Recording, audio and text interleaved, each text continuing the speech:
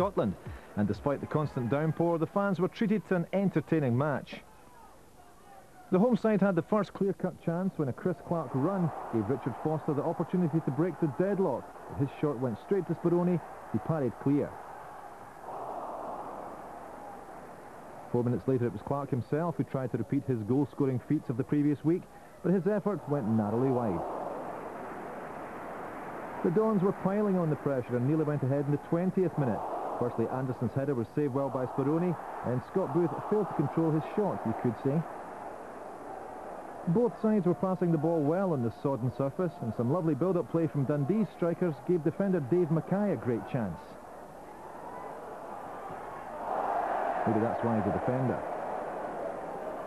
Just after the half hour, a long searching ball over the Aberdeen defence was picked up by Nacho Novo, who neatly outmanoeuvred Russell Anderson, cut inside and drilled a shot was well saved by Preece. Now, does anyone remember Russell Anderson's opener against Partick Thistle last week? Well, in an identical move, Dundee suffered the same fate as the big centre-half made it 3 in 2 games from Scott Morrison's free kick. Just two minutes later, the Dons were forced to take off defender Zander Diamond. Before his replacement got into position, Tom Hutchison got in the end of a high ball floated into the penalty area to equalise for Dundee. Just six minutes into the second half, the Dark Blues took the lead. A free kick into the box was nodded on by Lee Wilkie, and Nacho Novo flicked it into the net. Route 1 for the Dens men, and Novo took his season's tally to 16.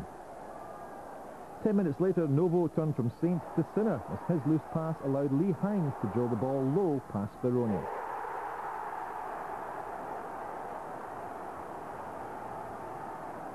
A good finish from the ex-Clyde hitman who proves Hinds means business. With more than 20 minutes remaining, Dundee had a big shout for a penalty when Sancho hit the deck in the box.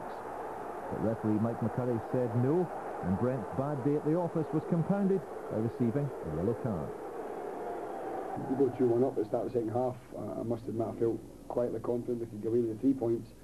But we made uh, a couple of silly mistakes and obviously a deflection. So I think over the piece two each was probably a fair result. The, the positive thing for me today was that we, we went behind and in past games we folded there in the season and we showed a lot of character to, to get back in the game and, and then you know keep pressing for the winner.